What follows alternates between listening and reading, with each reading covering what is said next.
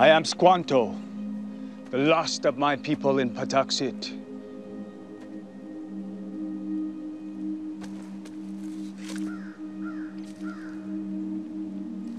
Mark the earth where I plant these fish. Yeah, an Emmy nomination would be pretty fantastic as an individual to be to be recognized for my own individual performance, but it's not just for me as an individual, it's for all Native performers who have come before me. And I think about Native kids who who are watching an experience like that, a nomination, especially a win, and it creates an opportunity for them because the dream doesn't seem so far-fetched. It's within reach. You know it's some someone that looks like them someone who reminds them of their family the people who they come from We, the people of the first light, come as friends. We?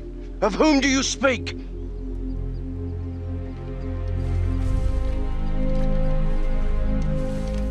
what makes me really excited is when you look at a project like Saints and Strangers, you see multi-dimensional native characters. You see them as these driving forces in the storyline.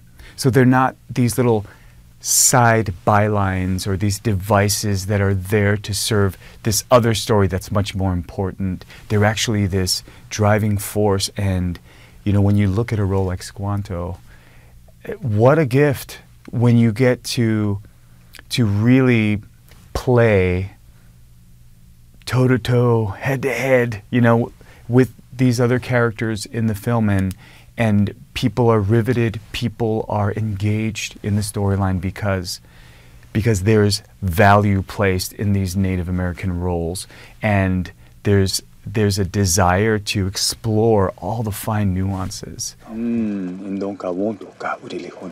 Tawani Tisquantum. Unka antunka. Onda. Kipela benadzi.